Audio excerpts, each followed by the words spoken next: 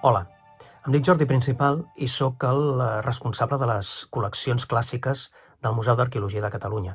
I avui us parlaré d'una de les peces més importants del museu, que és la Dama Flàvia, trobada a les ruïnes de l'antiga ciutat romana d'Empúries. Representa el cap d'una dona, mm, d'una dona benestant, d'una família rica de l'Empúries d'aquell moment. I el que més crida l'atenció és el seu cabell, el seu pentinat, que precisament ens donarà moltes pistes per poder esbrinar el moment en què va ser realitzada aquesta, aquesta peça. L'escultura està feta de bronze, mitjançant la tècnica de la cera perduda, i el que més destaca són els ulls, fets amb una pasta blanca en què s'hi han incrustat dos petits botons negres de pòrfir que fan que la seva mirada sigui molt més directa, que sigui molt més penetrant. S'ha debatut molt um, sobre el que podria haver estat aquesta escultura. Si un cap, un retrat, eh, col·locat en una peanya i disposat en una habitació o en una estança de la casa, o bé hauria format part d'una escultura molt més gran de cos sencer. La veritat és que no ho sabem, però els pocs indicis de què disposem semblen, sembla que farien que la primera opció fos la més factible.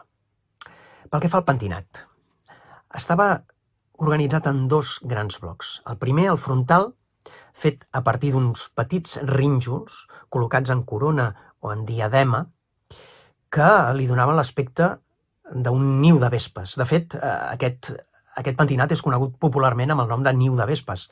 Eh, a partir d'aquí trobaríem una clenxa transversal, eh, després de la qual hi hauria tot un seguit de trenes llargues i fines que s'acabaria encargolant en un monyo, el qual deixaria, doncs, tot el clatell i les orelles lliures, perquè d'aquesta manera les joies de la dama fossin molt més visibles.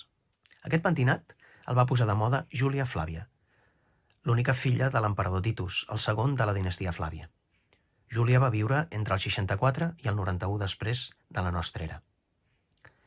Les dones romanes, benestants, les aristòcrates, sempre provaven d'imitar tot allò que venia de la cort imperial, i aquesta va ser la raó per la qual el pentinat de niu de vespes es va fer tan popular. Així doncs, hem de pensar que la nostra dama va ser feta en un moment en què aquest pentinat era encara prou vigent, i això ens portaria a pensar en una datació de final del segle I després de la nostra era.